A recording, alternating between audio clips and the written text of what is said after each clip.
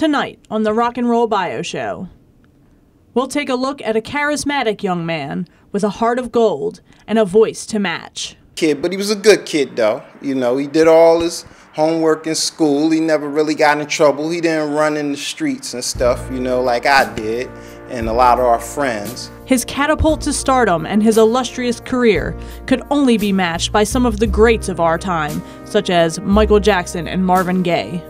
He had that voice that would stand out, you know, especially being as young as we were, you know, like eight. You know, he definitely was that kid that uh, turned heads, if you will. But ultimately, fame went to his head and led him down a dark path of substance abuse and violence. He was good. That there was no question about that. But as the as he got more famous, he just he just let it all go to his head. His ego became too much of a problem, and we had to go our separate ways.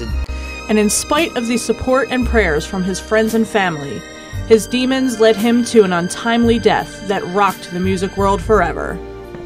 Uh, when I first arrived at the scene, uh, the location was uh, this vacant building in northeast Philadelphia. Uh, he'd probably been unconscious for give or take an hour or two. And uh, it's a shame, really, because if somebody had found him earlier and made the call earlier, paramedics might have been able to revive him.